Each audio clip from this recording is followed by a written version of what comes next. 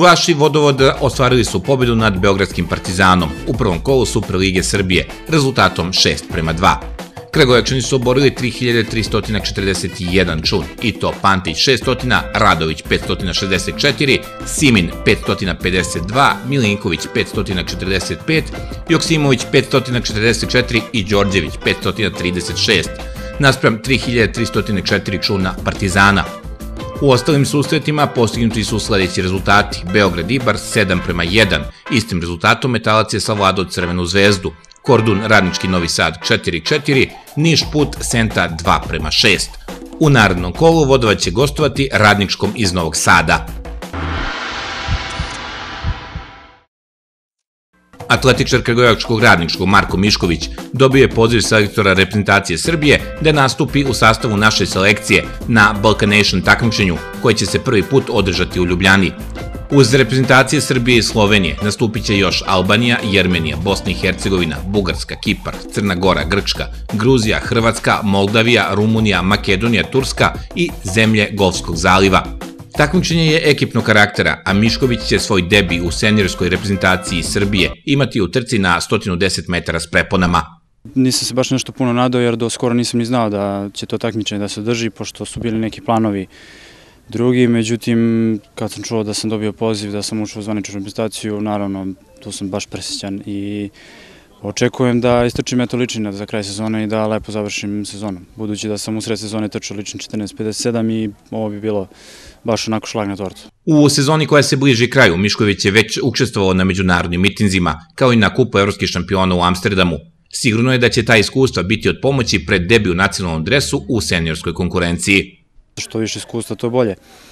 Već sam kao junior trčao na jednom mitingu u Ljubljani, tako da mi nije stran taj stadion i uopšte ta atmosfera gore i baš, baš jedva čekam to takmičenje, pogotovo zato što znam i konkurenciju i jednostavno je, baš se radim tom takmičenju. Mišković je uspeo da u tekućoj sezoni poboljša najbolje ostvarenje u karijeri, koje sada na 110 metara s preponama iznosi 14 sekundi i 57 stotinki, Nastup u Ljubljani je svakako prilika da se ostvari i bolji rezultat od pređašnjeg.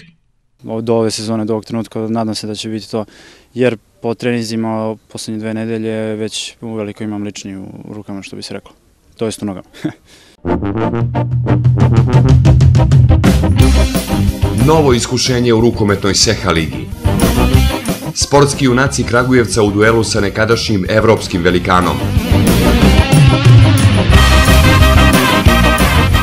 Radnički borac Banja Luka. 18. septembar od 19 časova u Hali jezero. Da ostvarimo prvu pobedu. Radnički vas zove.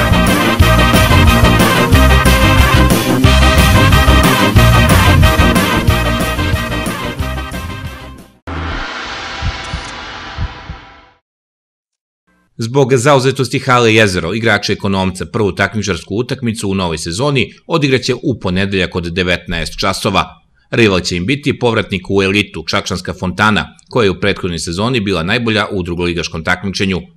Aktualni šampion Srbije u futsalu će do turnira glavne runde UEFA Futsal Kupa imati dve provere u prvenstvenim mečevima, s obzirom da će se posle susreta sa Fontanom u drugom kolu u Nišu sastati sa još jednim Novajlijom, ekipom Winter Sporta. Za plasman među 16 najboljih ekipa u Evropi, ekonomac će se boriti u periodu od 29. septembra do 5. oktobra, zajedno sa italijanskim Luparenseom, engleskim Baku Unitedom i grčkom Atinom. Upravni odbor Triglav Waterpolo ligi na sednici u Zagrebu odredio je predlog rasporeda utakmica za predstojeću sezonu. Vaterpolisti Radničov iz Kragujevca učešće u regionalnoj ligi pokšeće u Beogradu 4. oktobra srpskim derbijem sa Partizanom, dok će prvu utakmicu pred svojim navijačima odigrati četiri dana kasnije protiv Splitskog Poška. U prvom kolu A grupe još će se sastati Primorje Jadran Split, Mladost Branik Maribor i Pošk Budva, dok na startu B grupe igraće Primorac Kotor Vojvodina, Mornar Jug, Opatija Crvena zvezda i Jadran Herceg Novi Medveščak.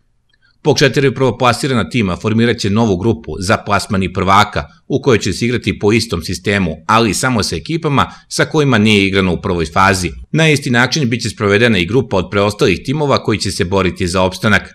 Druga faza takmičenja startovaće samo nekoliko dana po okončanju prve, 4. februara. Četiri prvoplasirane ekipe iz grupe za prvaka naće se na takozvanom Final Fouru 3. i 4. aprila naredne godine.